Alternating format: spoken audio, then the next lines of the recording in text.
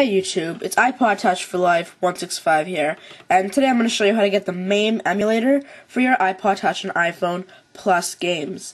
Now, the MAME is an arcade emulator, which uh, is a system that emulates old arcade games uh, such as Pinball, Asteroids, etc.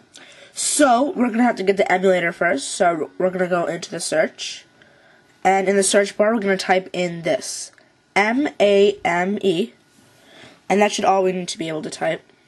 That should be all that we need to type. Alright, and we can click search. And the one we want to install is called MAME for iPhone from ZodTTD. And then you want to just click install, top right hand corner button, and then again, top right hand corner button again to confirm. Now that's the easy part. We can click the home button now, and we want to find the emulator wherever it was installed. Mine is on the last page. So if you go into the MAME emulator, you will not have any games. Uh, here's a loading screen right now, but uh, you will not have any games. I have one game because I've tested this out already, and that is a pinball action. And now I'm going to show you how to get those uh, ROMs on your iPod Touch. So we will need to go onto our computer for this. And once we're on our computer, you will need to go to the website that I've put in the video description. This is a MAME ROM website. Great. It's actually romworld.com. Uh, this link will be in the description. It has a lot of uh, MAME ROMs, and uh, you have a good category of them, starting with uh, the numbers all the way to Z. Uh, I'm going to click on A, but you can click on whatever you want. And I'm going to go for Asteroids Deluxe version, a game that I was looking at before. So we need to try to find that. And here we go. Asteroids Deluxe, Rev 1. So some of these will have more than one part. It'll say Rev 1, Rev 2, Rev 3, or uh, or uh, Rev 1, Rev 2, Rev 2, or it'll be like Set 1, Set 2, etc. So uh, we want to click on the first one first, and we need to download it. So we can just click on Download Now right here.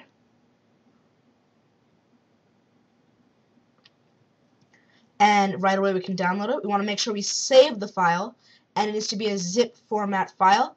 I recommend saving it to the desktop because that's where I will be saving it. So we want to click OK. And it should download in no time. So we're already done. And close out. Go back again. And now we want to get the second part, Rev 2. So here it is, Asteroids Deluxe Rev 2. Click on it. And then we're going to click Download Now. And again, save the file, and it should be a zip file format and you must save this to the same directory that you saved the first file. So again, I'm going to be saving it to the desktop. Click OK. And it's done again very quickly. Go back once more, and we're going to download the last part. So that's again um, Rev 2.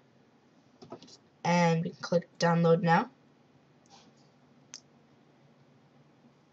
And again, save file, zip format, and the same directory that you saved the first two files click OK, and that's it, guys. Now we need to put those three files together to make one game. So here they are, one, two, and then the regular game. So this is like um, an add-on for this, and this is the second add-on for this, and that you need all three of them. So we're going to double-click on the first one,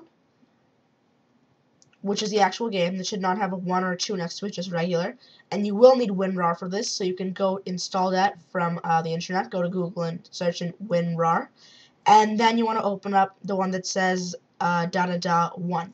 So in this case, it's Asteroids Deluxe. So we have the first file open, uh, where it just says nothing in the actual name. And then we have uh, the add-on, which says the name plus a number 1.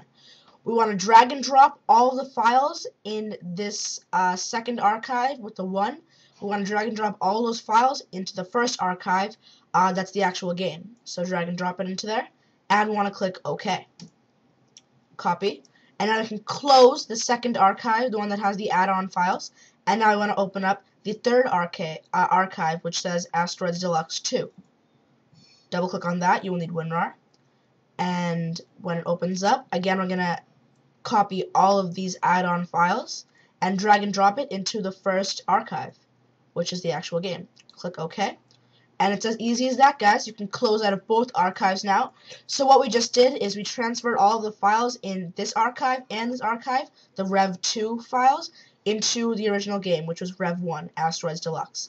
Now we can delete these uh, extra add-on archives because we've already transferred the files into the game. So we can delete those two. And we're left with Asteroids Deluxe.zip. No need to extract this uh, or anything like that. We can say we can keep it as a zip file. Now we're going to SSH into our device. I will be using WinSCP as always and we're going to double click on the one we're using and from this screen we can go back once and we're going to double click into mobile or mobile and then we're going to double click into media and then we're going to open up the folder that says ROMs, capital R-O-M, lowercase s. This folder is already created to created for us when we install any uh, emulator, including the MAME one open it up. And then we're going to open up the folder that says MAME, already created for us when we install the emulator. And then we're going to open up the folder that says ROMs in all lowercase. And as you can see, here is the pinball action file that I showed you at the very beginning. And all we need to do is drag and drop the zip file that we put all of the uh, files into, that archive. And all we have to do is drag and drop it into the ROMs folder. And we can click copy. And that's it, guys. Now we can close out of WinSCP, and we're ready to go back to our iPod Touch or iPhone. Alright, and we're back on our iPod. We can open up MAME for iPhone again. And here we should see the game that we just put into it, Asteroids Deluxe. We're just going to click on that. And then we can choose between portrait and landscape, and whether we want sound or not. For now, I'm going to go for portrait and no sound, since I don't have a speaker for this. And portrait is usually the way that you would play it and now we're going to wait for MAME for iPhone to load up. Now, if you do not get to the screen where it says otherwise type OK to continue, that means the game that you picked is not compatible. It's not my fault, it's not the video's fault, it's not the emulator's fault completely. It's just that the emulator can't handle uh, to be able to be compatible with over 2,000 of these arcade games. So if the game that you had said, like, file not found, error, you can't play, that means that the game you picked is not compatible. You'll need to go back uh, into the steps and pick another game, and again, repeat the process and try that game. I have found that the games with multiple sets and revs, such as this one, uh, whereas set 1, set 2, set 3, rev 1, rev 2, etc., I have found that those games are compatible, the ones that I've tested out. That just might be a coincidence, but anyways, just sharing my experience. But anyways, if you do not get past the screen where it says um, loading the file games and you don't get to the screen where it says type OK to continue and it says error file not found, then you'll need to pick a different game. But this game does work, so to click uh, OK, we just want to click both of the arrow buttons, the right and the left. Alright, and then it's going to uh, tell us to press any key to continue. I'll click X. And whenever we start out, it'll always uh, give us the game over screen first, and it'll say insert a credit. To insert credits, all we have to do is click the select button, and then we can click the start button. And then we can start playing. Uh, so, I know I'm so great at this game. Alright. Uh, but anyways, it's it's actually it's not bad. It's pretty good uh, for how small the system is. Of course, it'll probably work a lot better on the iPod Touch third generation and the iPhone 3GS. But right now, this is an untethered, and I don't want to deal with that. So I tried it out. It didn't work completely great, so I decided not to uh, bother with it and keep it unjailbroken till an untethered is released. And of course, the iPhone 3GS will work perfectly with this. It'll go nice and fast. Uh, so anyways, guys, uh, I hope you enjoyed this video. If you did, uh, make sure to rate it 5 stars and favorite also. Of course, comment below, share it with your friends, etc. And above all, please subscribe. That really helps. Uh, thank you guys for watching and doing those things, and I will see you guys later.